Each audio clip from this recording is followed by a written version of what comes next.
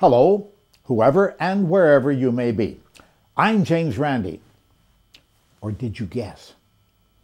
There are well accepted accounts from the Bible that Christians and others never question. Events and locations that are part of the story told of Christ and his history. One such is the account in John 1 of the birth of Christ in the lower Galilee town of Nazareth. This town is not mentioned at all in the Old Testament, nor in any of the extensive rabbinical literature, and the only established site there is the ancient town water well, now referred to, no surprise, as Mary's Well. The modern town is covered with churches, also no surprise, and though archaeology offers no support at all for them, the Nazarenes can point out sites such as Joseph's carpentry shop and the spot where Mary received the Annunciation, the message from the angel Gabriel that she was pregnant with Jesus, as well as the exact location of Mensa Christi, the table where Jesus dined with his apostles after his resurrection, and the site of the synagogue where Jesus preached as a lad. But Nazareth may be overrated as an historical site that proves the inerrancy of the Bible. Author Rene Salm has written The Myth of Nazareth, the Invented Town of Jesus, a book that effectively demonstrates the controversial archaeology of the town where the Bible has Jesus Christ being born.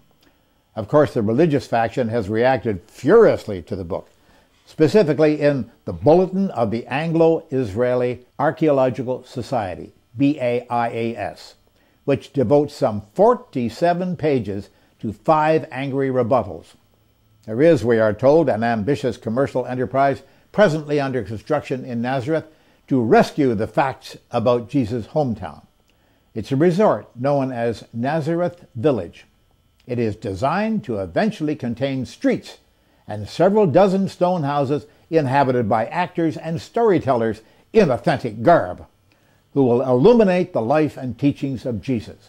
A notion perhaps inspired by the phenomenal success of Disneyland, where Tinkerbell and Mickey Mouse are seen flitting and strolling about, also in authentic garb. As of 10 years ago, an international consortium of Christian groups called the Miracle of Nazareth International Foundation had raised some $60 million for the project, with contributors in the U.S. such as former President Jimmy Carter, Pat Boone, and Reverend Reggie White, formerly a Green Bay Packer football star.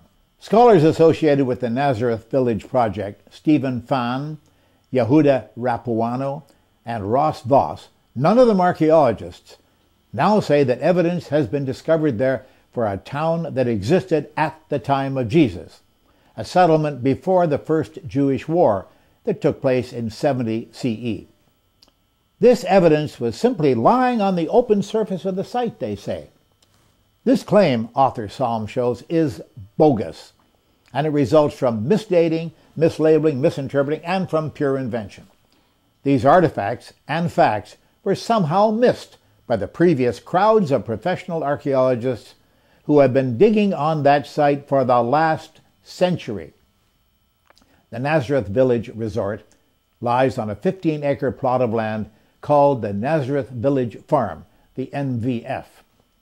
The scholars under discussion surveyed the farm, dug on it, and published a lengthy report in the 2007 issue of the BAIAS Journal. There is little difficulty to show that their evidence for a town there. Eleven small pieces of pottery shards actually dates as late as the second century CE, and Salm's research shows that the rest of the material from the Nazareth site dates well after the time of Jesus Christ. There simply is no demonstrable evidence from the Nazareth site that dates to the time of Jesus Christ and to Hellenistic times. In fact, one awkward fact after the other stands in the way of such a claim. For example, the Church of the Annunciation at Nazareth, the largest Christian structure in the Middle East, is a primary destination of Christian pilgrims to the Holy Land. Of course. It is there that the faithful believe Mary received the Annunciation from the Archangel Gabriel at her home, but the existence of a number of tombs directly under the structure firmly established by archaeologists, is just impossible, since, for the faithful, tombs have no place under such a structure. According to Jewish religious law, Jews cannot live in the vicinity of tombs, which are a prime source of ritual impurity.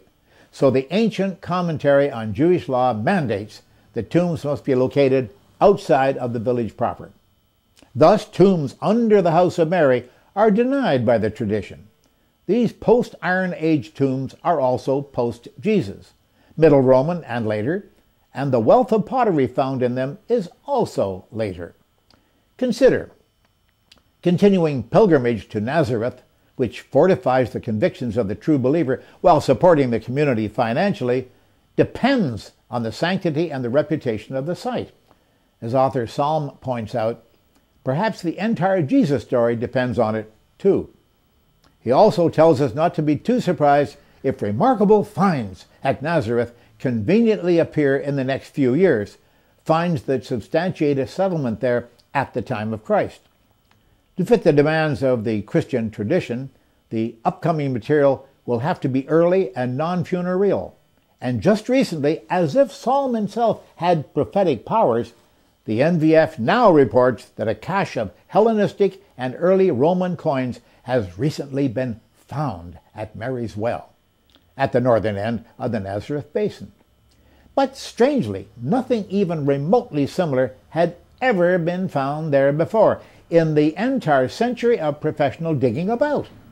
A cache of Hellenistic and early Roman coins, a bonanza for any archaeologist, is exactly the sort of evidence which the believers need in order to decide the matter in their favor.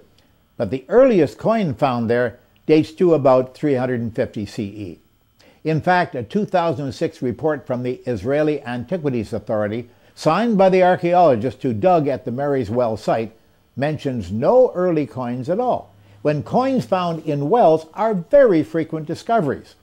The only datable coins she found there were from the 14th and 15th centuries after Jesus. The facts are that no demonstrable evidence dating either to the time of Jesus or to earlier Hellenistic times has been found at Nazareth. It is a late Roman Byzantine village, not a mythical settlement at the turn of the era. As author Salm says, that question has already been answered and answered convincingly. Here we have a parallel with the situation re evidence for the parapsychological miracles. For generations, the believers who support the Nazareth myth have been defending their case by demanding, Prove me wrong. When empiricists come up with the required facts, they discover that the facts don't seem to matter to those people. They also know that there's no way to disprove a myth.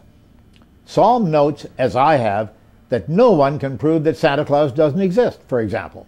We can go to the North Pole, we can dig up there all we want, and we can find absolutely no evidence for his gift manufacturing facility, nor for his team of flying reindeer. All the believer has to say under those circumstances is, well, you just didn't look in the right places. Or he's hiding, or even he's invisible. Ooh. Measuring chimneys, tracing gifts back to the factories in China where they were made, and discovering that the serial numbers on watches were stamped there in a little Swiss town, those things prove nothing to the true believer. The mythology of Jesus is every bit as weird. Oh, one additional fact. There are the so-called venerated sites at which the various Franciscan pseudo-archaeologists have been digging for the last century or so. They were situated where they are to make them fit, as much as could be done, the requirements of the Gospel's description.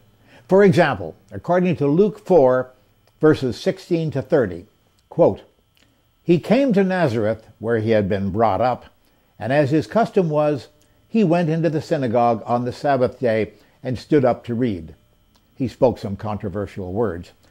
And all they in the synagogue, when they heard these things, were filled with wrath, and rose up, and thrust him out of the city, and led him unto the brow of the hill whereupon their city was built, that they might cast him down headlong. End of quote.